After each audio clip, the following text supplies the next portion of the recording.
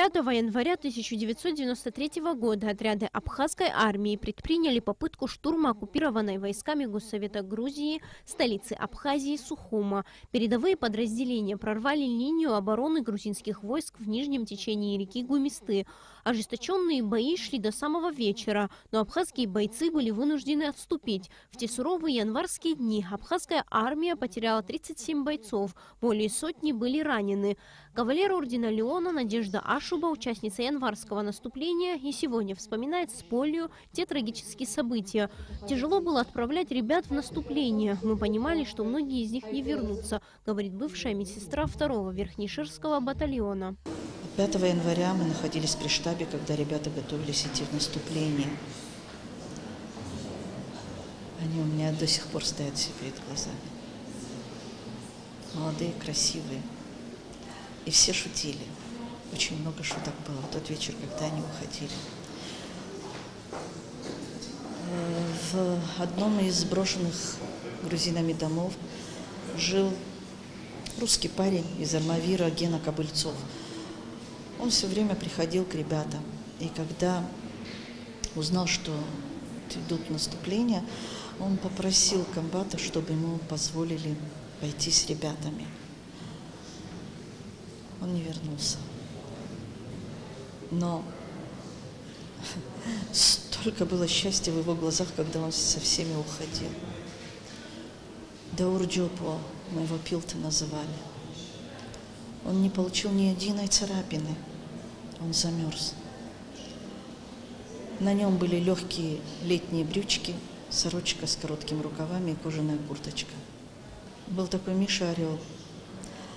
Наш замкомбата Руслан Халбад отправил его в Сочи. Ну, немножко отдохнешь там, молодых твоих-троих ребят. Они на границе услышали, что готовится наступление. Мы на позиции не знали, там уже говорили об этом. И в ночь перед наступлением э, мальчишки приехали, сказали, ты что, говорит, хотел от нас избавиться? Они не вернулись. Перед началом памятного вечера присутствующие почтили память погибших в Отечественной войне народа Абхазии минутой молчания. На встрече было много воспоминаний ветеранов о своих однополчанах. Студенты читали стихи, на экране был показан видеоролик о военных событиях. сҭадырхәоит ҳәа ахакы днаҟьон Аԥсны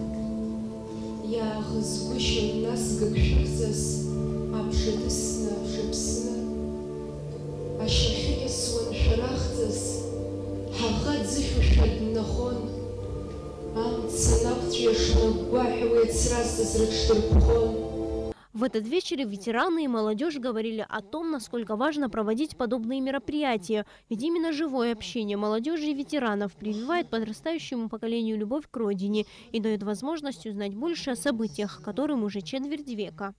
Отрадно нам, взрослым, тем более мне, как участнице войны, то, что молодежь подхватывает э, эти мероприятия, чтить историю и чтить память погибших. Для нас это очень важно. Родные сестры Амирана Берзиния, командира второго Верхнеширского батальона, который принимал участие в январском наступлении, известный дуэт сестры Берзиния исполнили песню. Стоя